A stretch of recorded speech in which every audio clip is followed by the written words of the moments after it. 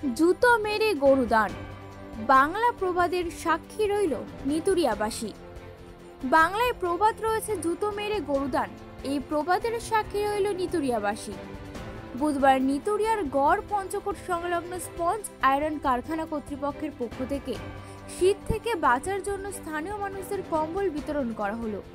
কিন্তু স্থানীয় মানুষজনের দাবি, এ যেন জুতো মেরে গরুদান এই বাংলা প্রবাদ সত্য প্রমাণিত হলো।